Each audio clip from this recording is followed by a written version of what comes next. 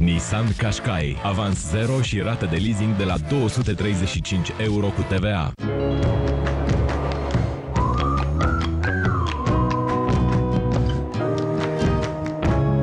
Tot ce te interesează. Live pe un singur ecran. Noul HTC One. În magazinele Orange și pe www.orange.ro ai nevoie de semnătură electronică? Alege DigiSign, furnizorul marilor beneficii. Noua semnătură îți aduce un cadou garantat. DigiSign îți oferă singurul serviciu de suport tehnic 24 din 24 și cea mai rapidă cale de reînnoire anuală. Semnează cu DigiSign rețeta electronică și raportările către CNAS, declarația unică la ANAP și documentele electronice pentru SEAP. DigiSign, membru al Ines Group. La Christian Tour sunt reduceri de până la 50% la charterele cu avionul pe toate destinațiile verii. Acum ai Tenerife, Mallorca, Antalya, Corfu, Rodos, Creta, Zakynthos, Kos, Mykonos, Santorini sau Croația la cel mai bun preț. cristiantour.ro În copilărie îi se spunea Franzeluța și cânta la acordeon. Ar fi putut fi muzician, dar a preferat scena de teatru. Este un artist veșnic tânăr pentru că nu a avut timp să îmbătrânească și a rămas fidel comediei într-o țară tristă, dar cu spectatori veseli. George Mihăiță este invitatul lui Dorin Chioțea, sâmbătă, ora 18 și 30 de minute la Oamenii Realității.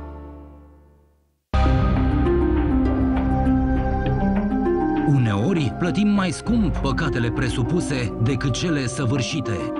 Săptămâna aceasta vezi cazul unei femei ucise cu o cruzime animalică de către soțul ei. O bănuia de ani de zile de infidelitate și, pentru o minte bolnavă de gelozie, n-a fost nevoie de probe, ci doar de un pretext să declanșeze infernul. Detaliile unei crime conjugale șocante, sâmbătă, de la ora 22 și 30 de minute, într-un nou dosar Investigatorii, cu Dan Antonescu.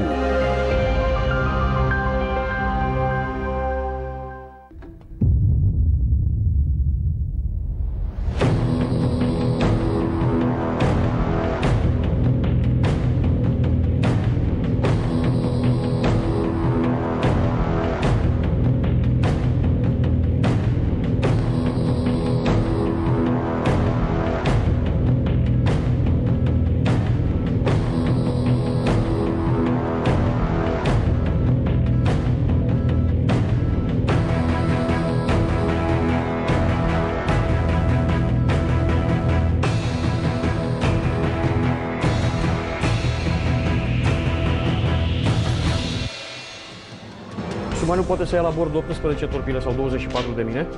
Alertă de instrucție se execută pregătirea rapidă a submarinului pentru luptă.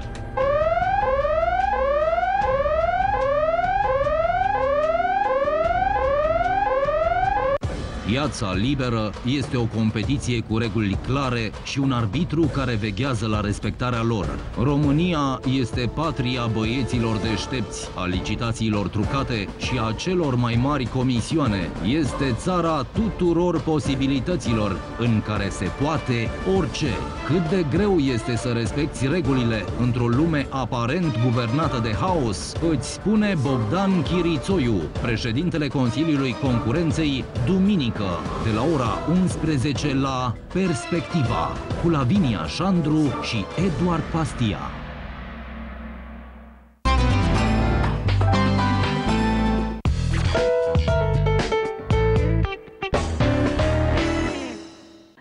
Bună ziua, bine ați venit la Ai grijă de tine. Din ce în ce mai multe cupluri din România se confruntă cu probleme de infertilitate. Care sunt cauzele, dar și consecințele de natură psihică ale acestei boli recunoscută de Organizația Mondială a Sănătății? Aflați astăzi. Discutăm uh, și despre situația siluetei noastre după concediu și cum scăpăm de durerile articulare. Așezați-vă comod, începem imediat. Tot mai multe cupluri din România se confruntă cu problema infertilității. În multe cazuri, este bine de știut că infertilitatea poate fi tratată câtă vreme îi se descoperă cauzele. Însă tratamentele lungi și costisitoare determină pe mulți să-și abandoneze visul de a deveni părinți. Ore de chin petrecute prin spitale, tratamente dureroase cu efecte secundare grave și peste toate acestea comentariile celor din jur. Așa trăiesc în România cuplurile care sunt nevoite să recurgă la tratamente de fertilizare costisitoare pentru a naște un copil. De multe ori, aceștia ajung să se ferească și de propriile familii, de teamă că nu i-ar înțelege.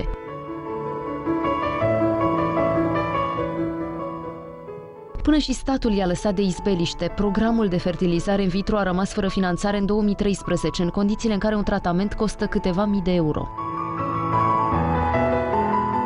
Tratamentele la care se supun sunt periculoase pentru sănătate, iar șansele de a rămâne însărcinate prin inseminare artificială sunt de 10-15%. Există femei care au ajuns la 13 proceduri de fertilizare în vitro fără niciun rezultat. Cercetătorii danezi au descoperit că în ultimii 10 ani fertilitatea bărbaților s-a redus la jumătate. Medicii au identificat peste 85.000 de chimicale în alimente, ambalaje sau cosmetice care afectează capacitatea de procreere. Unul din uh, cinci cupluri din România are probleme de infertilitate, iar uh, numărul acestora este în creștere. Discutăm despre acest subiect uh, alături de um, doamna doctor Alexandra Crișan, medic primar obstetrică și ginecologie la Spitalul Filantropia, jurnalistul Roxana Iliescu, bine ai venit, și psihologul Mihaela Stăhlean. Bine ați venit, doamnelor, vă mulțumesc. Un subiect amplu și foarte dureros pentru multe din persoane. Din ce mai dureros acum? Uh, Adică există, din ce da, mai numeros. Ca. Există nenumărate cauze, e foarte greu să le enumerăm, dar um, aș vrea să vă întreb care sunt cele mai frecvente cauze de infertilitate și mai ales dacă există cauze pe care medicina nu și le poate explica, să spunem așa, sau pentru care medicina n-a găsit un uh, răspuns logic și foarte clar. Așa este. 30%, 40% din cuplurile infertile uh, sunt datorate cauzelor femei. 30% partenerului, uh, încă 30% amândoi și 10% inexplicabile.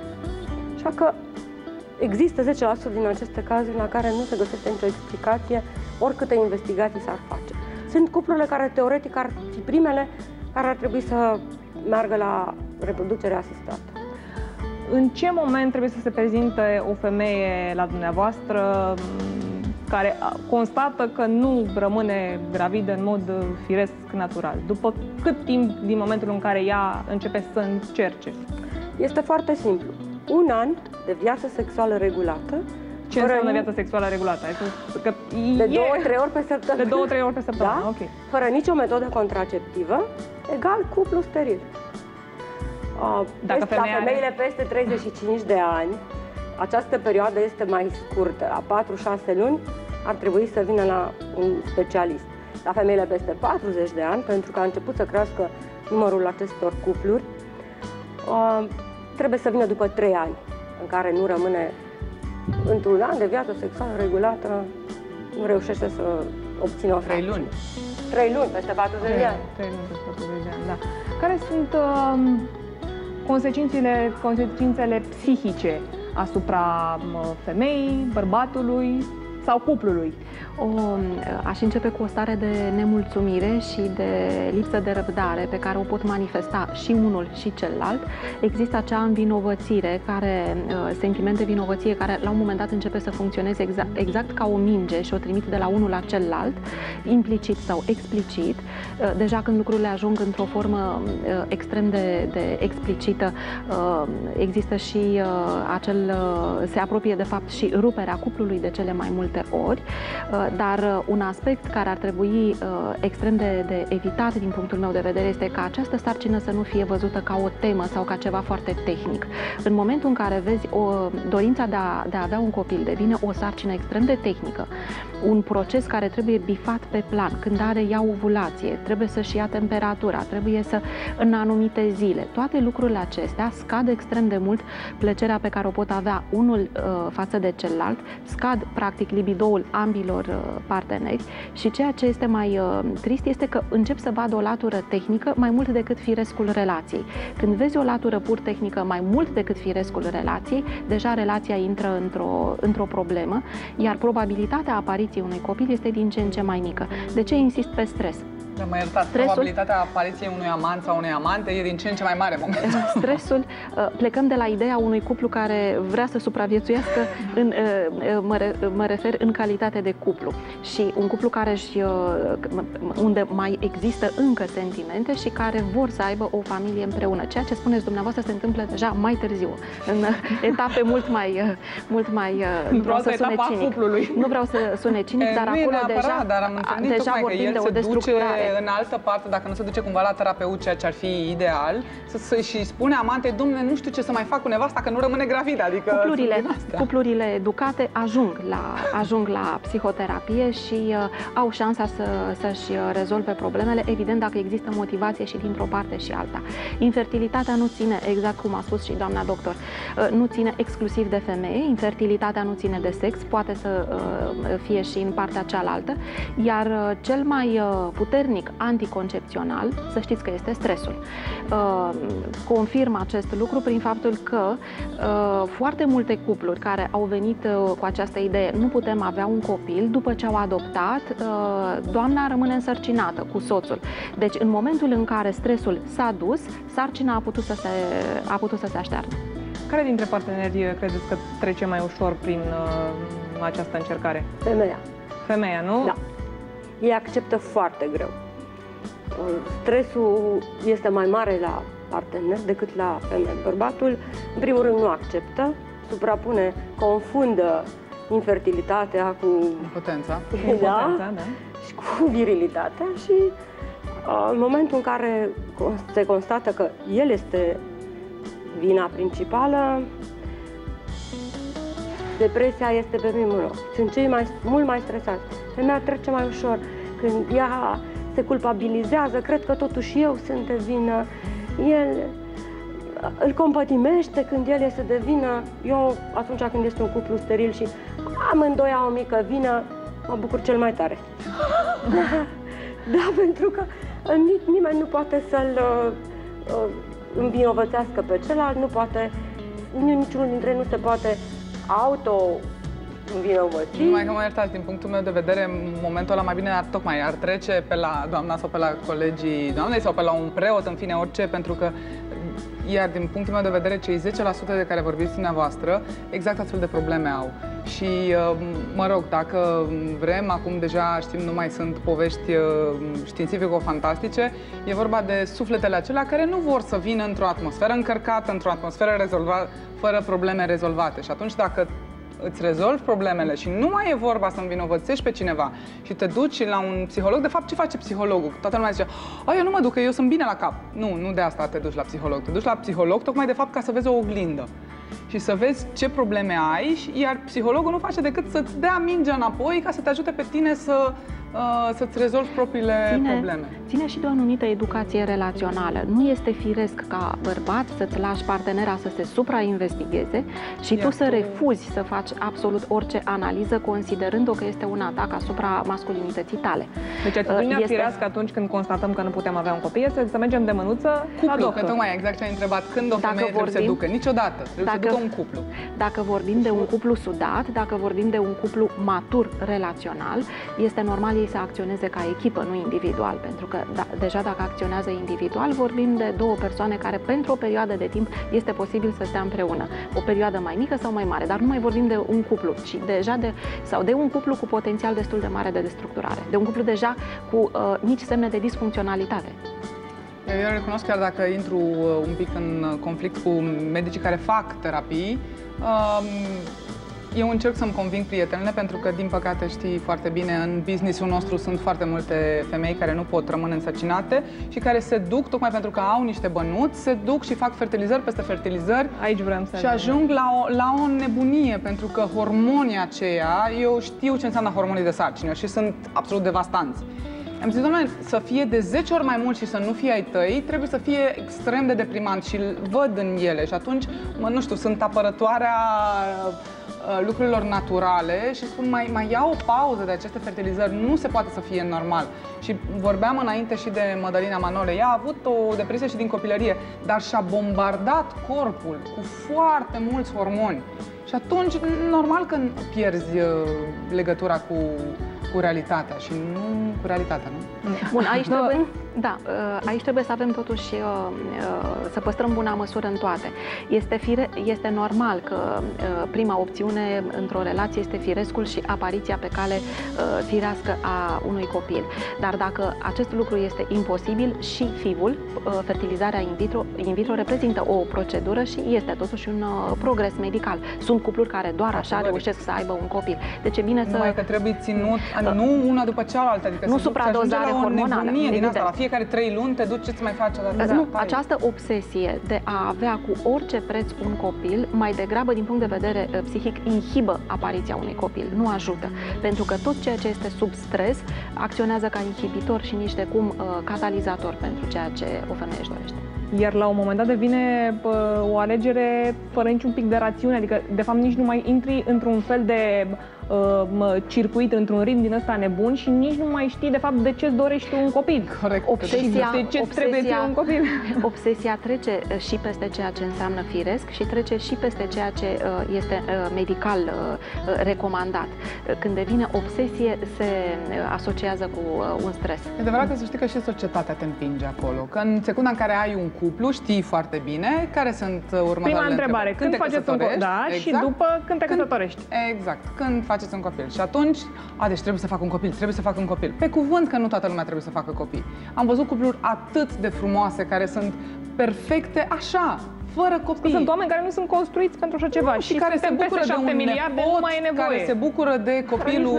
Da. da. Doamna doctor, spuneți-mi ce ar trebui să știe orice femeie despre fertilizarea in vitro?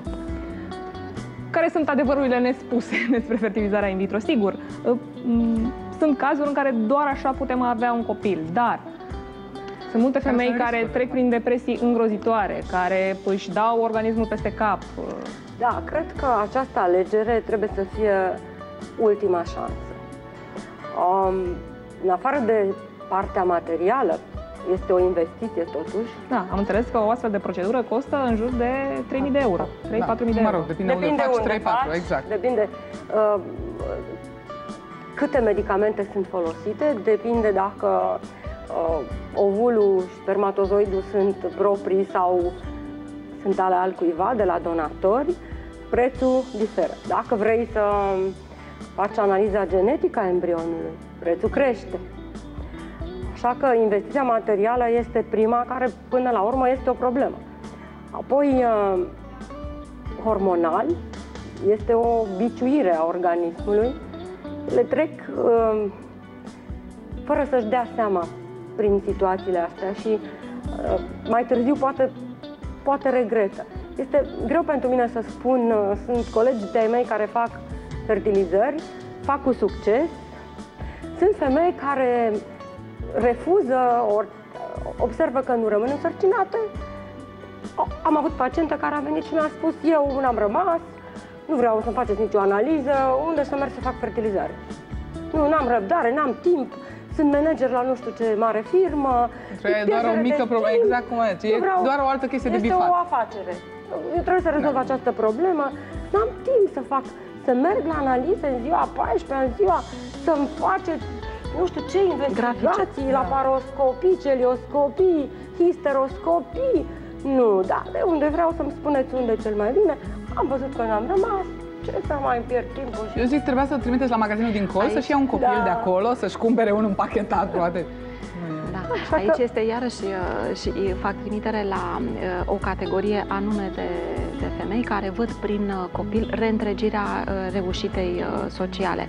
Au profesia, au toată lista bifată și a rămas copilul. Sau un câștig identitar. Cine sunt eu? Sunt... Completarea statutului și în felul acesta.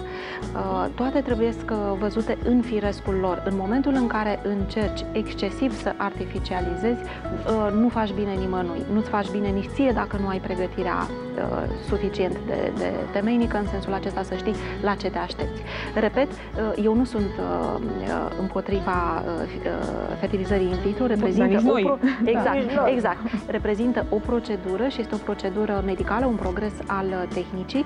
Uh, sunt în primul rând pentru, uh, așa și este normal, uh, pledez pentru uh, varianta cât mai uh, firească, iar pe măsură ce variantele firești pică una câte una, atunci automat trebuie uh, substituite cu progresele medicale uh, care sunt uh, la ora actuală. Pentru că și depresia pe care o poate avea o pacientă care a făcut această fixație că nu poate avea copii și care refuză ideea adopției, pentru că nu orice femeie este pregătită să adopte un copil, uh, gândindu-se că dacă nu este copilul ei, nu poate să-și exprime sentimentele așa cum ar dori și îi ține iarăși de, din nou de pregătire psihologică, uh, reprezintă și aceasta o soluție. Și atunci dacă depresia, vorbim din nou de uh, costuri și beneficii și aici nu vorbesc de costuri neapărat materiale, ci de costuri emoționale, dacă acele costuri emoționale sunt exagerate de mari pentru o femeie, atunci există situații în care uh, uh, s-ar putea simți mai bine cu ea însăși și să se exprime pe ea mai bine. Și atunci trebuie ajutată, inclusiv uh, prin, uh, prin psihoterapie și explicate procedurile medicale foarte corect. Sunt foarte multe paciente care își doresc o procedură medicală fără să încerce celelalte variante, dar nu au răbdare nici măcar să asculte despre care este conținutul acelei proceduri medicale. Au acel sistem și foarte mulți pacienți la noi în țară au acel sistem de uh, mașină în service când vin la medic. Am venit să fiu, da. uh, am venit pentru reparație, dau banii, plătesc, repară-mă. E, nu este chiar așa, este o coparticipare. Cu medicul faci întotdeauna echipă. Dacă nu faci echipă cu medicul respectiv, e bine să-ți cauți un medic cu care să faci echipă. Medicul poate fi excepțional, dar este posibil să nu poată să facă nici el echipă cu tine și atunci trebuie să-ți găsești medicul cu care faci echipă. Exact cum spuneai și la început. Foarte bună expresia, sindromul mașinii în serviciu. Da, da, da, exact cum da. spuneai la început, trebuie, cred trebuie să stai un pic și să vezi, dar de ce vreau eu un copil?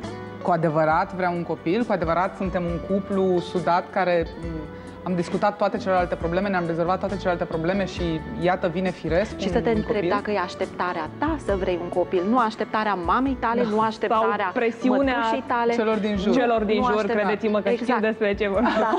Nu așteptarea colegilor tăi, da. nu uh, uh aveam uh, o, o pacientă care... e mai deștept și poate să-ți spună aveam, nu vreau să fac o, față presiunilor. Aveam o pacientă care uh, își planificase sau își dorea un copil peste 3-4 ani. Uh, nu era uh, genul să zic așa, nici anorexic, nici măcar normoponderal, era puțin mai plinuță, se simțea extrem de jenată de câte ori în, la serviciul ei îi se ceda locul sau se făceau glume că pentru că ea era puțin mai, mai plinuță. Trăia foarte anxios această, această situație. Da? Deci așteptările celor din jur pot crea o presiune foarte mare care, culmea, nu ajută, nu catalizează procesul acesta, ci din nou inhibă. Da, da, să știți că pentru o femeie să devii mamă este un lucru extraordinar. Evident, evident. La urmă, evident. nici nu mai contează dacă tatăl copilului dorești cu adevărat. îți rămâne partener.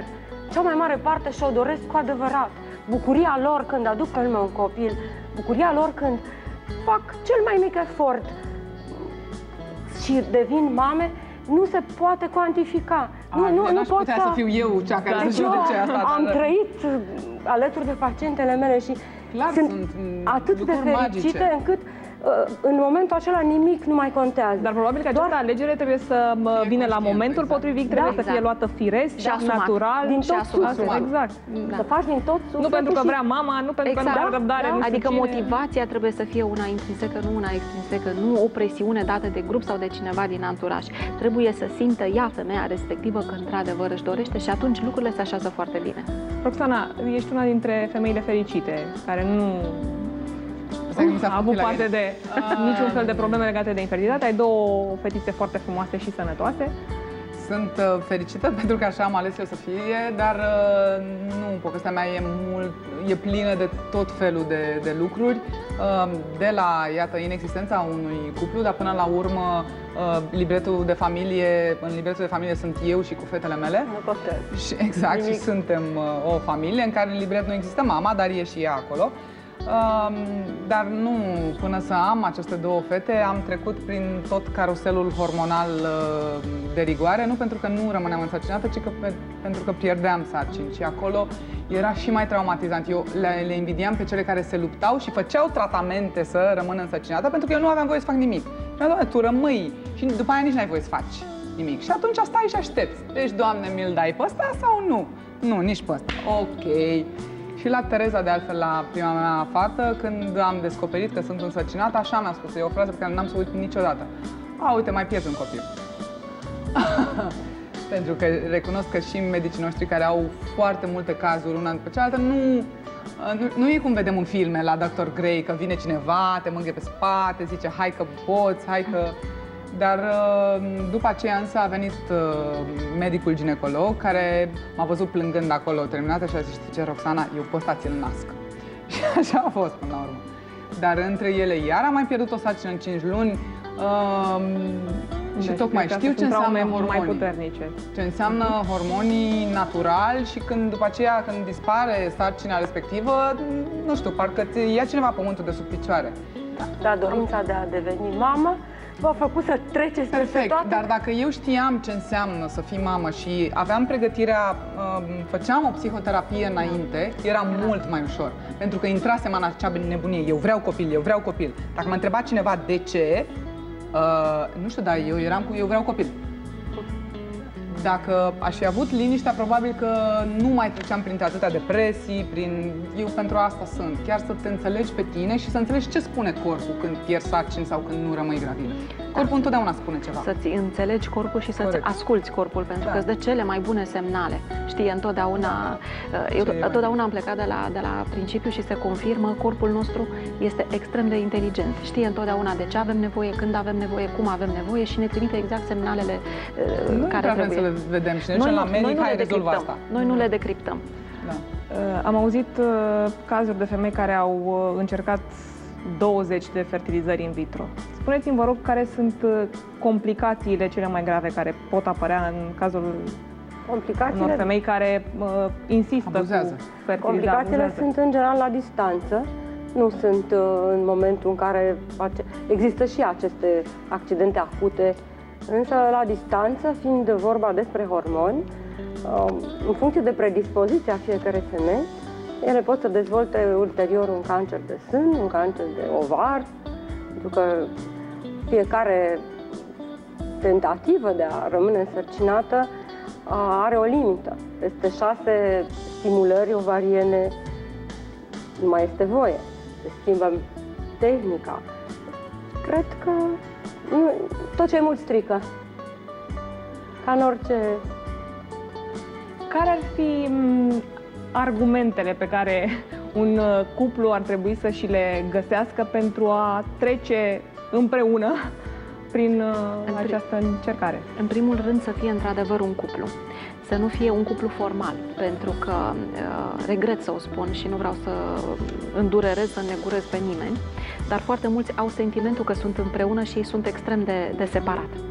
Uh, au, uh, în doi. au o singurătate în doi exersată de ceva vreme și, uh, da, regret să o spun, dar uh, îi vezi ca doi străini care, uh, sunt cupluri de genul acesta, doi străini care uh, au, administrează niște bunuri și vor să administreze și un potențial copil.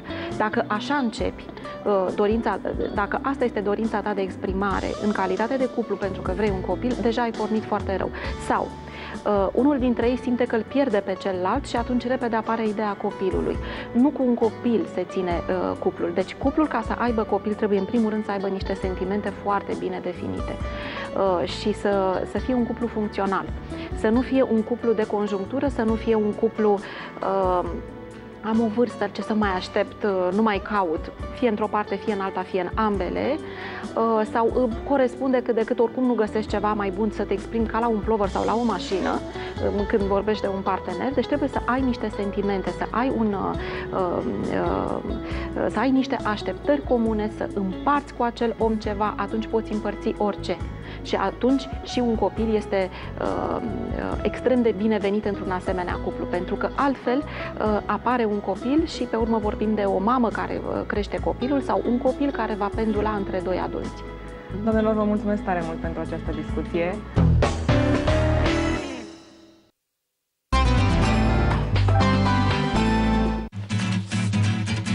Băi, ești nebun, ai câștigat un scooter, mă,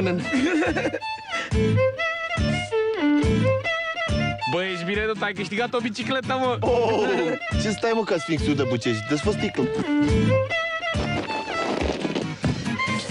Uite tu că eu nu pot ia. Ce a câștigat? Ai câștigat un drumul la magazin să mai ai niște bere de asta bucegi. Și să-ți dea berea din același loc. Dragi prieteni, adunare, bucege câștigătoare. Caută sub capac premiile instant. Scooter, bicicletă, tichet de 50 de lei sau bucegi la 2,5 litri. Vecine, nu vă supărați, aveam niște rufe la uscat și cred că au căzut la dumneavoastră. Păi hai să vă uitați. Dar ce frumos ați făcut aici, vecine. V-a costat mult? Nu, no, puțin. Foarte puțin. Pot să verific și în terasă? Leroy Merlin reinventează prețurile mici. La Christian Tour sunt reduceri de până la 50% la charterele cu avionul pe toate destinațiile verii. Acum ai Tenerife, Mallorca, Antalya, Corfu, Rodos, Creta.